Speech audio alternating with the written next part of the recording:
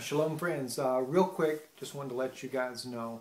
Uh, I, again, apologize. Uh, I haven't been able to finish this work that I'm working on um, on the message trying to put together.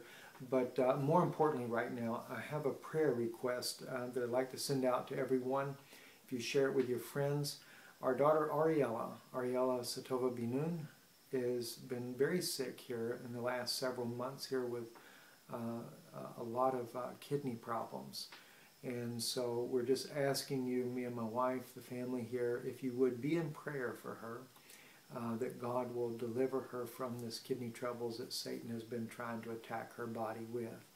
Uh, and by God's grace, I will have the video together for you this weekend. Uh, and I think that you'll be very happy to, to see the, the efforts that's going forth in that. Be a blessing to you as well. God bless you.